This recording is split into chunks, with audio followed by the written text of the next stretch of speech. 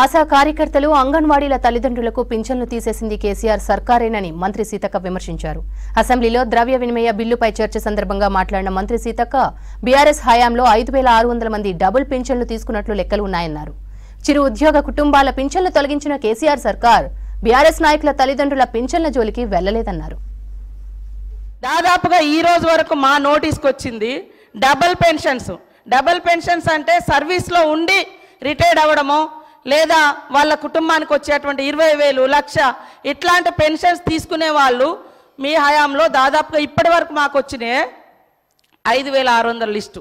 లక్ష్మమ్మ గారు కూడా ఇరవై నాలుగు వేల పెన్షన్ తీసుకుంటుంది సార్. సరే లోకల్ అధికారులు రికవరీ చేసినట్టుంది. అది మా నోటీస్కి రాలేదు.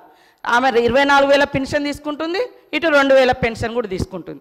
ఇంకొకటి వారు చెప్పిర్రు ఉద్యోగులకు రెండు పెన్షన్లు ఇస్తామని చెప్పిరని ఎస్ మీ ప్రభుత్వంలో రాగానే ఆశా వర్కర్లు కావచ్చు అంగన్వాడీలు కావచ్చు బస్ డ్రైవర్ల తల్లిదండ్రులు కావచ్చు వాళ్ళ పెన్షన్ కూడా తీసేసారు కానీ మీ నాయకులకు మీ నాయకుల కుటుంబాలు వాళ్ళ తమ్ములు అన్నలు వాళ్ళు తీసుకున్నారు కార్పొరేషన్ల పేరు మీద వాళ్ళ కుటుంబంలో పెన్షన్ తీసుకున్నారు ఉద్యోగం వస్తుందని. కానీ వేరే చిరు ఉద్యోగుల యొక్క తల్లిదండ్రుల పెన్షన్ మాత్రం మీరు తీసేసారు సార్. కాబట్టి మీరు మాట్లాడేటప్పుడు వాస్తవాలు చూసుకోవాలి.